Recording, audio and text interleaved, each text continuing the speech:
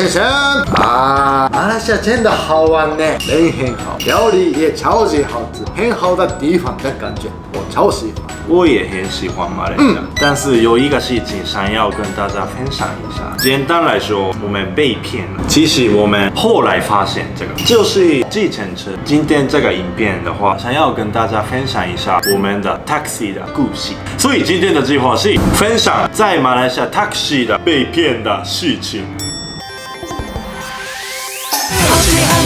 谢谢很开心，好啊，需啊，对啊，真的真的。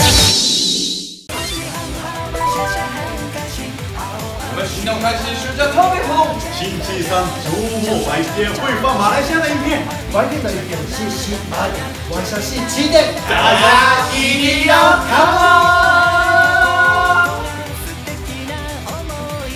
我们不太熟这个马来西亚的地点，所以常常使用那个 taxi。然后拍片也有点赶时间嘛，所以我们最快的方法就是 taxi。我们现在就在 Times Square，就是很市中心的。然后我们第一天从这里到 Arrow Street，然后我们想要拍两千元计划之类的，所以我们决定打 taxi。在 Google Map 上面距离的话不到五分钟吧。这个我们在那个岔道的影片里也说过吧。马来西亚的 taxi 的话没有那个 meter 的也很多，然后我们要先跟那个司机讨论价钱。我们的饭店的门口的旁边有的那个计程车的司机，我们说想要去 Arrow Street，然后他们说无锡 ringgit。那时候我们不知道从这里跟 Arrow Street 的距离吧。其实，在 Google Map 上面有看过，但是我们没有去过，然后我们也不知道马来西亚的计程车的标准的价钱是多少钱。然后大家对我们说五十 ringgit，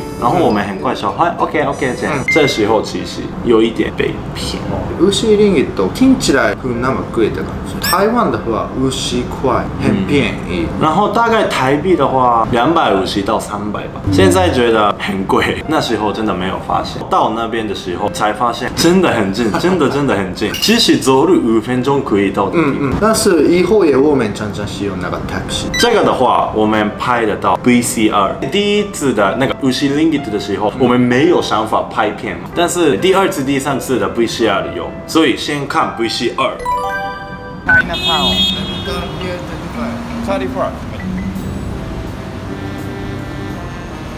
我们这个时候啊，想要去 Chinatown，想要拍一个节目，然后他们说三十五 ringgit。其实 Chinatown 是比 Arrow Street 远，开车的话十分钟左右。Arrow Street 的时候五十 ringgit 嘛，然后三十五 ringgit，感觉比较便宜，就不觉得怎样。然后当下那时候好险，这次没有被骗，就是价钱很便宜啊这样的感觉。然后从那个 Chinatown 回到 Times Square 的时候是三十块，三十 ringgit。然后那时候我们觉得有点怪怪，为什么价钱会那么有差别？但是五リンギット的差的话还可以。但是我们后来发现，这个三十 ringgit 也超级贵，这个的 VCR 也有，所以先看 VCR。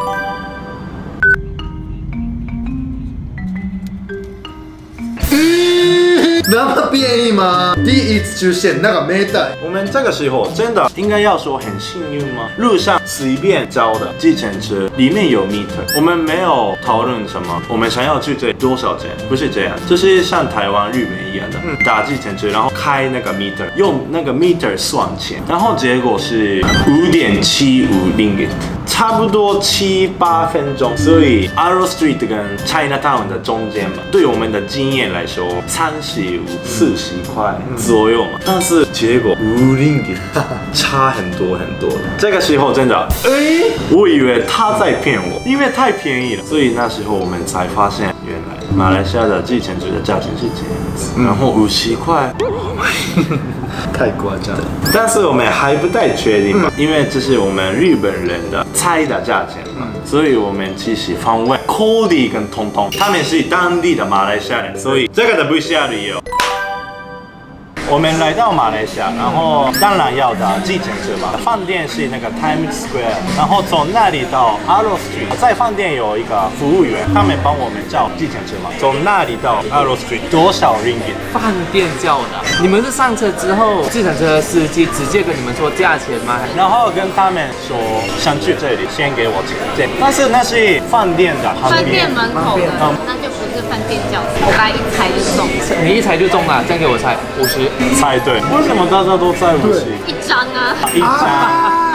就直接啊，就直接好像台湾，如果说你要被骗，我就骗你一千呃，元。如果是正常的价钱，应该在十多块左右，没有或者少过十块，可能五块钱。对五块钱。如果你叫 Grab 你叫的 Grab 话的话，那如果你叫传统德式就会较贵。它这个不是因为它因为他是被砍。啊，完蛋了！当然，在 Google Map 上面我们会看到，但是我们不知道距离啊或是什么。马来西亚的计程车的标准的那个价钱，计程车如果有按表计算的话，那是正常价对钱。那如果他不按表的话，就是你肯定被砍。但是通常如果太近距离，他们都不会按表。有些计程车里面没有那个算的距对离。对。其实他们这样是犯法的，或者是在游客区的话，很容易会中到，因为很多游客可能不知道。尤其是 Times Square 那一区，有很多外国人是用美金的，所以其实美金转换来马币，几十块马币对他们来讲很便宜。所以要来马来西亚旅游的话，最好是用手机叫车比较好。那时候我们后天会去台湾。现在学到也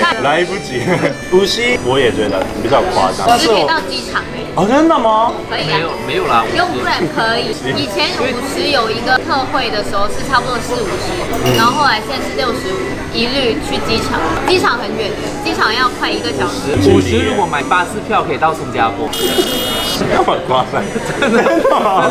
我们只有五分钟的那个 Arrow Street 的时间，走路五分钟。后来我们走路，然后哎这么近，真的吓到我。啊，想去新加坡呢。这边去新加坡应该巴士票三十多块了。那个是太夸张，但是五分钟、十分钟的距离耶，大家都说三十，是算太贵吗？贵啦，哦，那真的哦对的价钱，也没有跳表。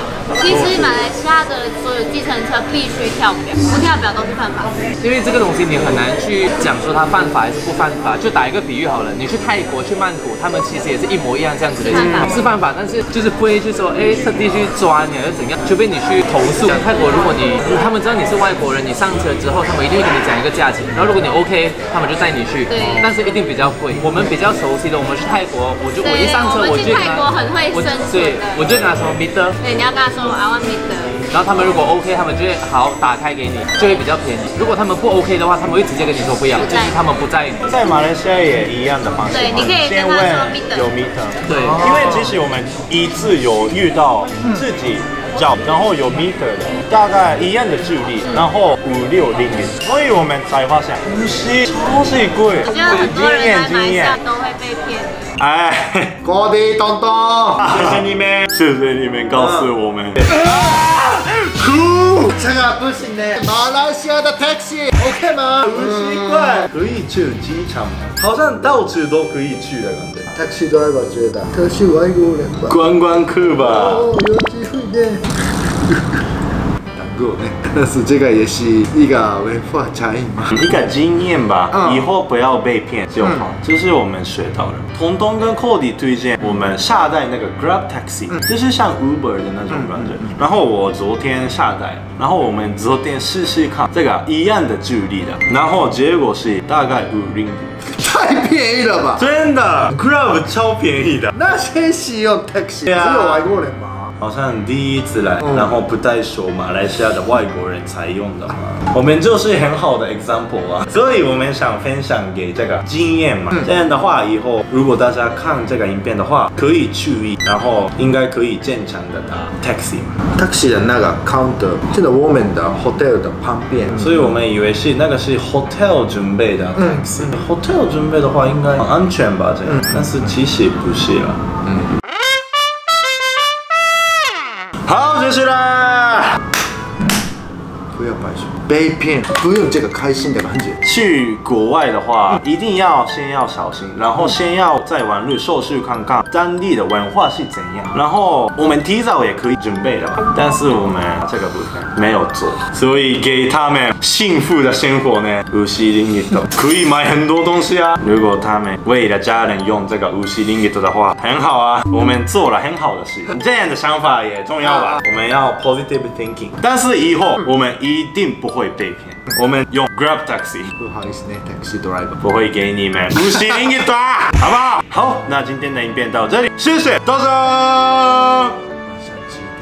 晚上几点见？晚上几点见？